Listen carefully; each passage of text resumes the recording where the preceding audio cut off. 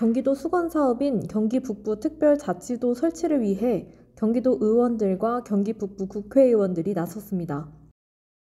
경기도 의회 경기 북부 특별자치도 설치 특위 구성 추진 TF단은 이달 내 특위 구성을 완료하고 본격적으로 활동에 나섭니다.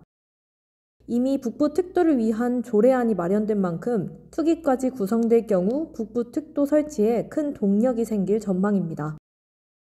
특위는 주로 북부 지역 정책과 관련 연구 용역 추진 상황, 31개 시군 단체장 면담 등의 활동을 전개할 예정입니다.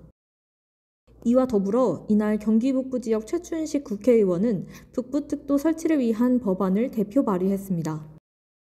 북부 지역 규제 완화와 접경 지역 특화 발전 등의 내용이 담긴 만큼 경기 북부 특별자치도 설치를 위한 밑거름이 될 전망입니다.